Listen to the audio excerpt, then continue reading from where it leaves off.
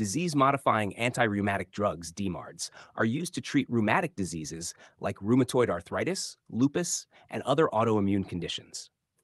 When considering DMARDs in pregnancy, the safety of both the mother and the fetus is paramount.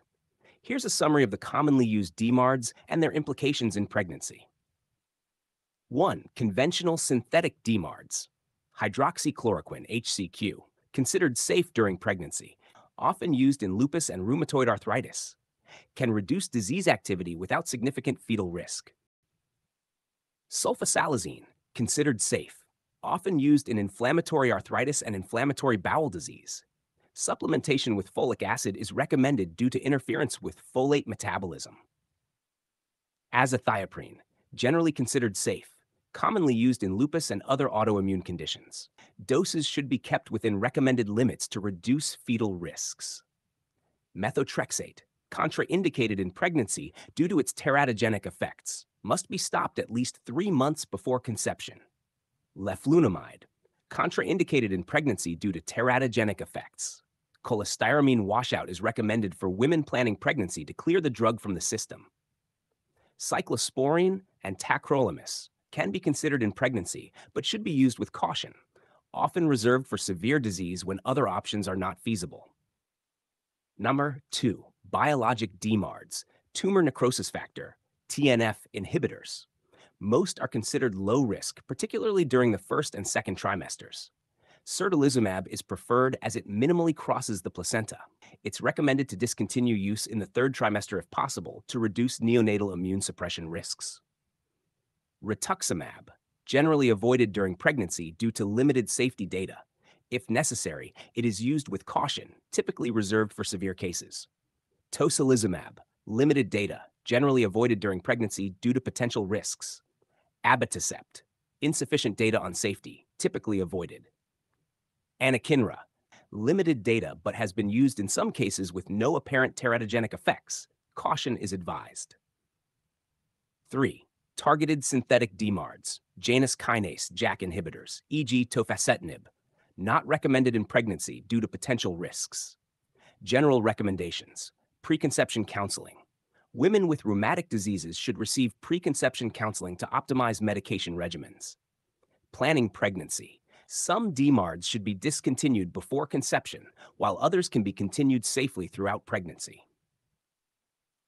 Close monitoring pregnant women on DMARDs should be closely monitored by a multidisciplinary team, including a rheumatologist and an obstetrician, to ensure the best outcomes for both mother and baby. Would you like more information on specific DMARDs or recommendations for managing rheumatic disease in pregnancy?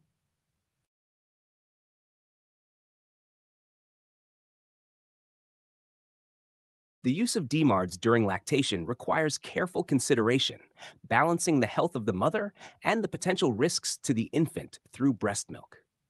Here's a summary of the safety of various DMARDs during breastfeeding.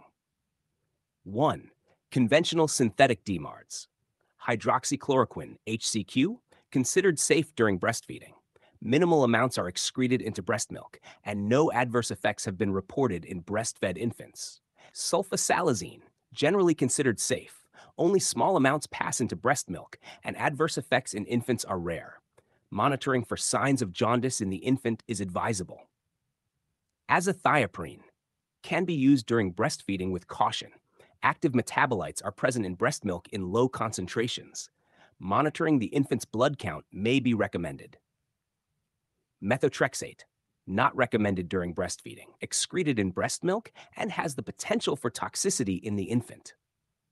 Leflunomide, not recommended during breastfeeding due to its long half-life and potential for toxicity. Cyclosporin can be used with caution during breastfeeding. Low levels are present in breast milk, but monitoring of infant renal function and blood pressure may be recommended. Tacrolimus can be used with careful monitoring. Limited data suggest minimal excretion into breast milk, but close monitoring of the infant is advisable. NASH2, biologic DMARDs, tumor necrosis factor, TNF inhibitors, infliximab, adalimumab, etanercept. These are considered compatible with breastfeeding. They are large molecules, and only minimal amounts are transferred into breast milk. No significant adverse effects in infants have been reported. Certolizumab, particularly safe for breastfeeding as it does not cross into breast milk significantly due to its structure. Rituximab, limited data, but some studies suggest low levels in breast milk. Due to the lack of long-term safety data, it is generally used with caution. Tocilizumab, limited data on breastfeeding safety, generally avoided unless necessary. Abatacept, insufficient data, use with caution or avoid during breastfeeding.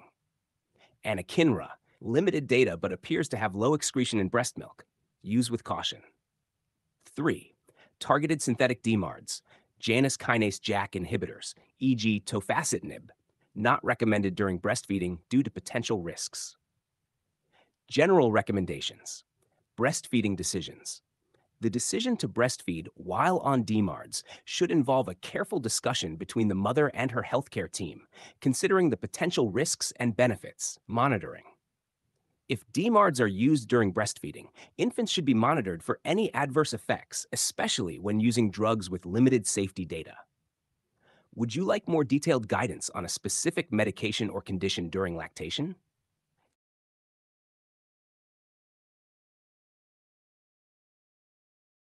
In late pregnancy, the use of DMARDs should be carefully considered to balance disease control and minimize potential risks to the fetus. Here's a summary of DMARDs that are considered relatively safe during late pregnancy. Conventional synthetic DMARDs. 1. Hydroxychloroquine, HCQ, safe to use throughout pregnancy, including late pregnancy, well tolerated, and has no known significant risks to the fetus in any trimester. 2. Sulfasalazine, safe for use throughout pregnancy, including late pregnancy. It's important to ensure adequate folic acid supplementation. 3. Azathioprine, generally considered safe for use in late pregnancy, typically used in conditions like lupus and other autoimmune diseases, with no significant increase in fetal risks when used appropriately. Biologic DMARDs 1. Tumor necrosis factor, TNF inhibitors. Certolizumab, preferred TNF inhibitor in late pregnancy. Due to its structure, it minimally crosses the placenta, reducing the risk of neonatal immune suppression. Etanercept, adalimumab, infliximab. These TNF inhibitors can be used in late pregnancy if needed, though discontinuation before the third trimester is often recommended to avoid neonatal immune suppression. If continued, close monitoring is advised. 2. Anakinra. Limited data, but it has been used safely in some cases in late pregnancy. It may be considered when other options are not suitable. General guidelines for late pregnancy. Discontinuation of biologics. For most biologic DMARDs, especially monoclonal antibodies like infliximab and adalimumab, it's often recommended to discontinue use by the 30th to 34th week of pregnancy to minimize fetal exposure and avoid neonatal immune suppression. Certolizumab is an exception as it has minimal placental transfer. Monitoring. If a biologic DMARD is continued into late pregnancy, careful monitoring of the newborn for any signs of immune suppression or infection is crucial. Delivery planning. Coordination with an obstetrician and pediatrician is essential for managing delivery and postnatal care, especially if biologics have been used in late pregnancy. Would you like more detailed advice on specific conditions or additional information on delivery considerations?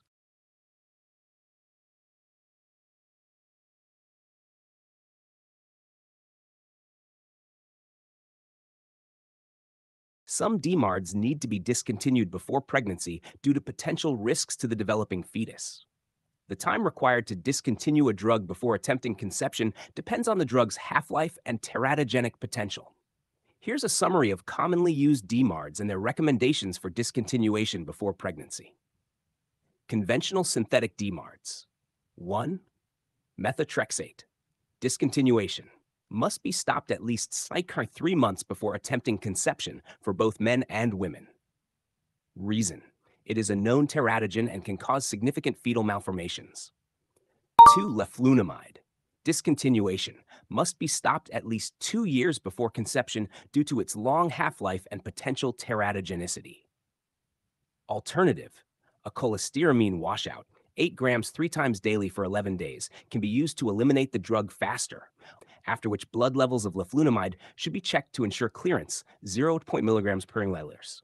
If clearance is confirmed, conception can be considered sooner. 3.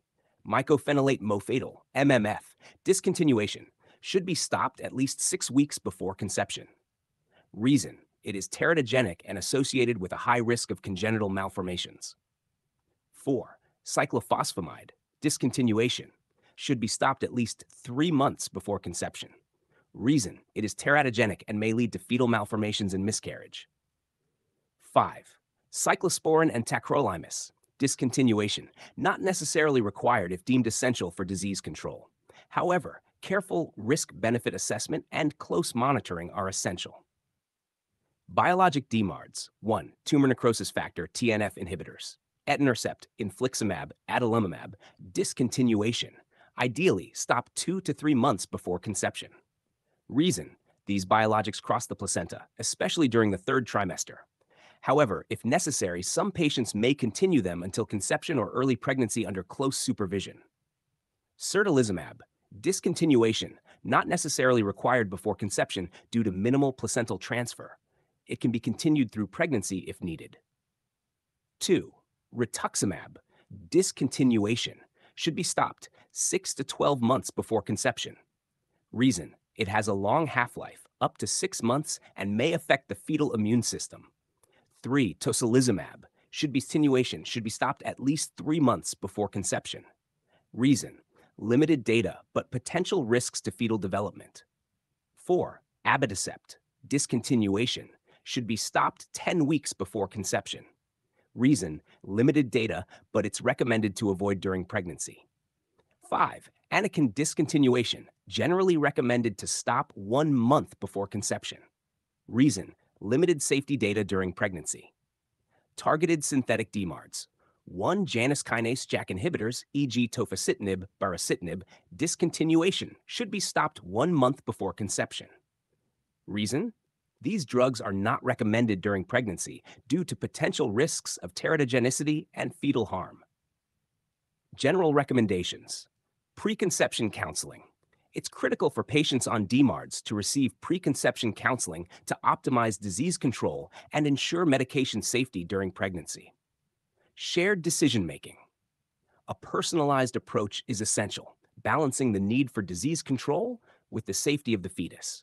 Close collaboration between rheumatologists, obstetricians, and sometimes other specialists is necessary. Would you like more detailed information on any specific drug or condition management related to pregnancy?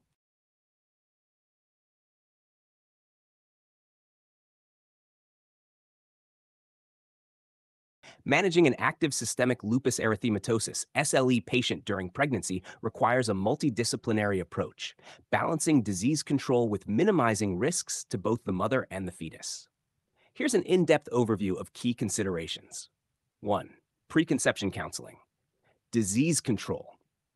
Ideally, SLE should be in remission or well controlled for at least six months before conception to reduce the risk of complications. Medication review. Preconception counseling includes adjusting medications to ensure that those with potential teratogenic effects are discontinued and replaced with safer alternatives. Risk assessment.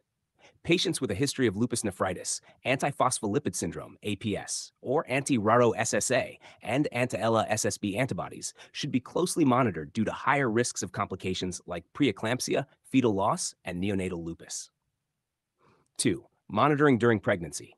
Frequent assessments. Patients with active SLE require frequent follow-ups, including laboratory tests to monitor disease activity, e.g., complete blood count, renal function, complement levels, and anti-dsDNA antibodies. Fetal monitoring.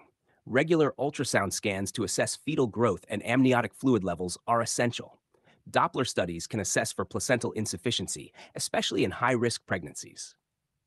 And three, medications during pregnancy. The management of active SLE in pregnancy involves using medications that are safe for both the mother and the fetus.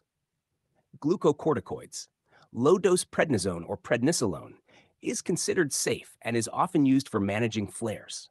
Methylprednisolone can also be used. High doses may be required during severe flares, but should be minimized to avoid complications like gestational diabetes, hypertension, and fetal growth restriction. Hydroxychloroquine, HCQ, first line therapy for maintaining disease control during pregnancy. Safe and beneficial for reducing the risk of flares, preeclampsia, and congenital heart block in neonates of mothers with anti-Ro SSA and anti-La SSB antibodies. Azathioprine, safe for use in pregnancy at doses 2 mg kilograms per day, often used in patients with lupus nephritis or severe SLE who require steroid-sparing agents.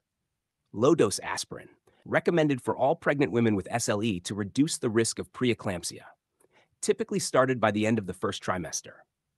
Heparin, low molecular weight heparin, LMWH, indicated for patients with antiphospholipid syndrome, APS, to prevent pregnancy loss and thrombosis. LMWH is preferred over unfractionated heparin due to a more favorable side effect profile. Calcium and vitamin D, important for bone health, especially if glucocorticoids are used. IV immunoglobulin, IVIG, can be considered in refractory cases or in patients with APS who have experienced recurrent pregnancy loss despite anticoagulation therapy. 4. Medications to avoid during pregnancy. Cyclophosphamide, contraindicated due to teratogenicity. Mycophenolate mofetil, associated with an increased risk of congenital malformations. Methotrexate, known teratogen and contraindicated during pregnancy. Leflunomide, teratogenic and contraindicated. Warfarin, avoided due to its association with fetal abnormalities and bleeding complications. 5. Managing flares during pregnancy, mild flares. Typically managed with low-dose prednisone or prednisolone. Moderate to severe flares may require higher doses of steroids, and in some cases, the addition of azathioprine or intravenous methylprednisolone pulses. Lupus nephritis. Active lupus nephritis during pregnancy can be managed with steroids and azathioprine. In severe cases, plasma exchange or IVIG may be considered. 6. Complications and special considerations. Preeclampsia and eclampsia. Pregnant women with SLE are at higher risk for preeclampsia, particularly if they have lupus nephritis or antiphospholipid antibodies. Blood pressure should be closely monitored. Fetal growth restriction. SLE increases the risk of placental insufficiency, leading to intrauterine growth restriction, IUGR regular fetal growth scans are essential. Neonatal lupus.